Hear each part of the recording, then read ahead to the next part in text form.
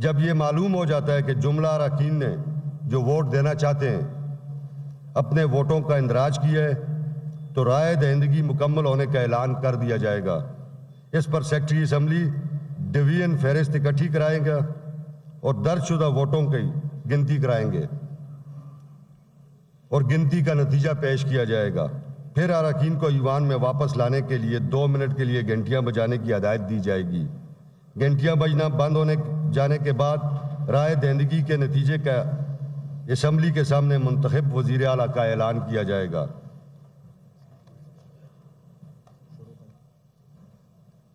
ये तरीक़ेकार है जी, जिसके मुताबिक हम चलेंगे। गैलरी में बैठे हुए मेरे तमाम माजस मेहमान, दोस्त, भाई, बच्चे, ये ऐवान आप लोगों ने इस पूरे सूबे की नुमाइंदगी के लिए चुना है।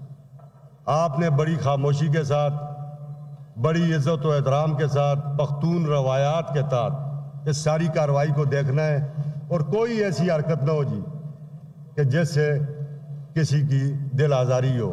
मैं तो को रखता हूँ कि मेरी बात पे आप जो है ना मेरी बात का मान रखेंगे। पाँच मिनट के लिए घंटियाँ बजाई जाएँ और इसके बाद तमाम दरवाजे बंद किए जाएँ।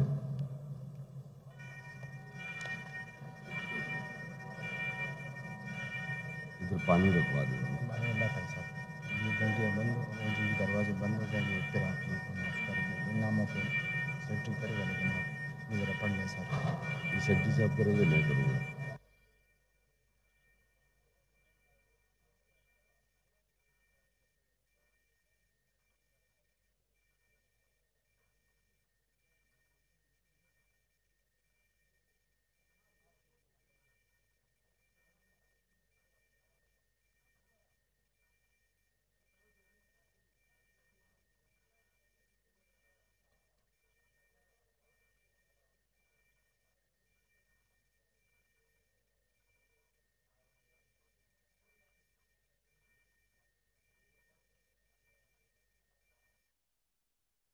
तो सुन्नी इतिहाद काउंसिल के रहनुमा नामजद वज़ीर अला अली मीन गंडापुर का मुकाबला डॉक्टर इबादुल्ला खान से होने जा रहा है। खैबर पख्तूनख्वा असम्बली का इजलास इस वक्त शुरू हो चुका है। दस बजे का टाइम था, तकरीबन साढ़े ग्यारह बजे ये इजलास शुरू हुआ, डेढ़ घंटे की ताखीर से। और जो तरीक़ाकार अपनाया जाएगा, चूँकि ये खुफिया रायशुमारी नहीं है, स्पीकर और डेप्यूटी स्पीकर के लिए खुफिया रायशुमारी होती है। और वज़ीर अला के लिए शो ऑफ़ हैंड का तरीक़ाकार अपनाया जाता है।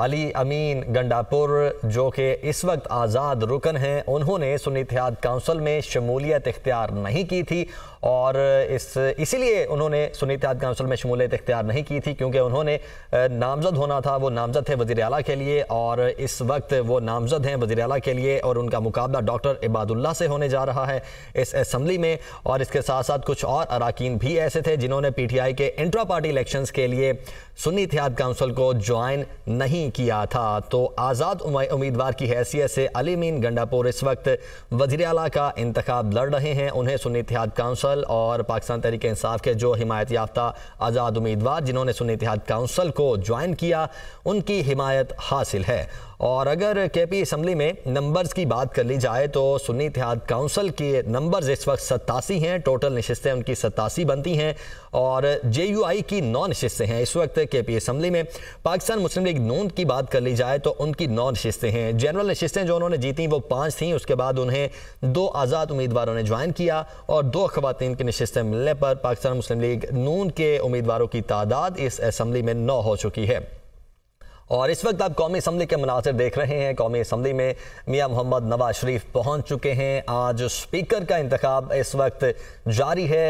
खुफिया बैलेट बॉक्स में इस वक्त अपने अपने वोट कास्ट किए जा रहे हैं और मियाँ मोहम्मद नवाज़ शरीफ कुछ ही लम्हे पहले यहाँ पर पहुँचे हैं। फ्रंट रो में उनके लिए सीट रिज़र्व की गई हैं। जैसे कि हमने कल भी देखा कि फ्रंट रो में उनके लिए सीट जो थी वो रखी गई थी और इस वक्त वो जहाँ पर जो ईवान के अंदर लोग मौजूद हैं, उनके साथ मिल रहे हैं। बहुत बड़ी तादाद में लोग उनके साथ यहाँ पर मौजूद हैं, जो पाकिस्तान मुस्लिम लीग नून के कैंडिडेट हैं और उसके साथ साथ जो पाकिस्तान मुस्लिम लीग नून के अरकान मंतखब होकर इस ऐवान में पहुँचे हैं। उन्होंने उठ कर इनके साथ मुलाकात की है, इनके साथ मुसाफा किया है और कुछ ही लम्हे पहले मियाँ नवाज़ शरीफ यहाँ पर पहुँचे हैं। कौमी असम्बली का इजलास इस वक्त जारी है और कौमी असम्बली का ये तेईसवें स्पीकर हैं जो कि नए स्पीकर बनने जा रहे हैं और ये सोलहवीं कौमी असम्बली है जो कि तश्कील पाई है। इससे पहले 22 स्पीकर कौमी असम्बली रह चुके हैं। अगर हम इनकी डिटेल्स की बात कर लें तो सबसे पहले जो नेशनल असम्बली के स्पीकर थे वो मोहम्मद अली जिनाह थे। कायद अजम मोहम्मद अली जिनाह जो कि 11 अगस्त उन्नीस सौ सैंतालीस से 11 सितंबर 1948 तक स्पीकर रहे। इस नेशनल असम्बली के पहले स्पीकर थे। उसके बाद दूसरे स्पीकर, एक्टिंग स्पीकर थे जो कि तमीज़ुद्दीन खान थे जो कि 1948 से उन्नीस तक रहे उसके बाद अब्दुल वहाब खान तीसरे स्पीकर थे उन्नीस से उन्नीस तक रहे 1955 से उन्नीस तक तमीज़ुद्दीन खान एक बार फिर से एक्टिंग स्पीकर बने इस असम्बली के उन्नीस से उन्नीस तक वो इस असम्बली के स्पीकर रहे उसके बाद फजल चौधरी थे जो कि उन्नीस से उन्नीस सौ पैंसठ तक इस असम्बली के स्पीकर मुंतखब हुए बाईस स्पीकर इस असम्बली में आज तक मुंतखब हो चुके हैं इस दफ़ा तेईसवें स्पीकर का इंतखब हो रहा है।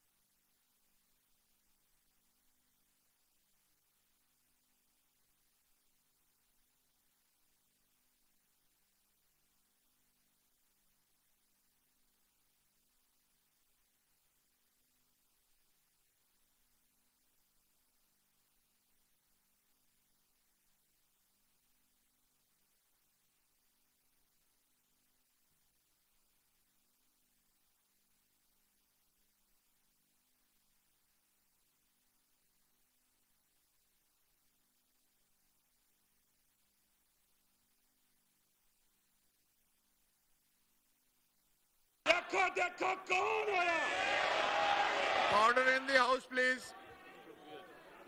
पाकिस्तान! चोर मुर्दा बूथ नंबर एक मोहतरमा अनिका मेहदी जनाब औरंगज़ेब खान खिची सरदार अवैस अहमद खान लगारी जनाब अवैस हैदर झक्कड़।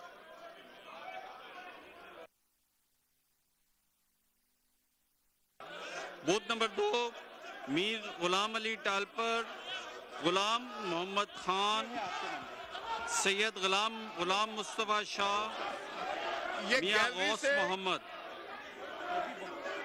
एक मिनट आगे से हटें जरा।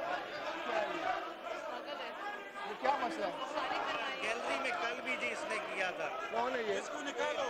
कल में कल भी इसने किया यहाँ से इसको निकालो यहाँ से। इनको गैलरी से निकाल दिया जाए। इनको निकाल दिया जाए।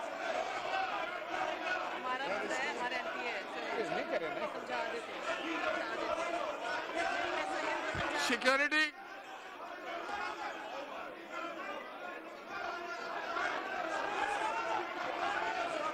order in the house okay okay order in the house please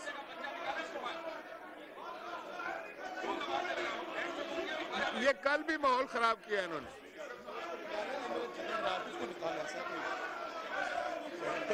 आप लोग बैठे सीट पर। आ- आप लोग तशरीफ़ रखें।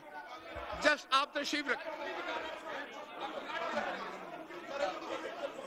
हाँ आप लोग तशरीफ़ रखिए अभी उसको निकालते हैं। आप लोग तशरीफ़ रखें।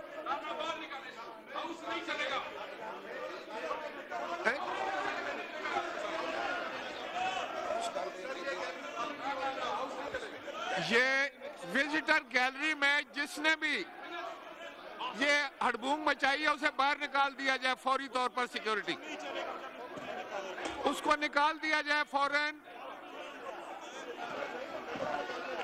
सिक्योरिटी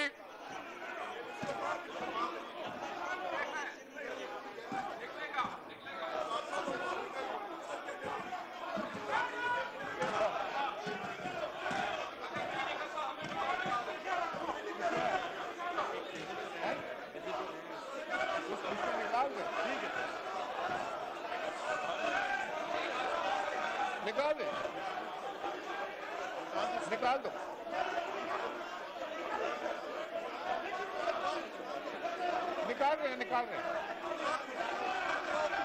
निकाल रहे हैं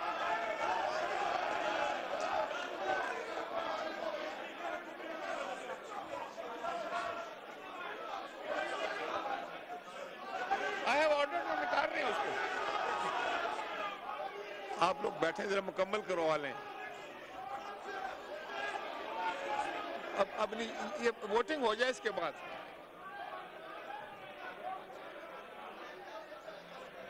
सब लोग अपनी अपनी निशिस्तों पर तशरीफ़ रखें। Please all honourable members are requested to take their seats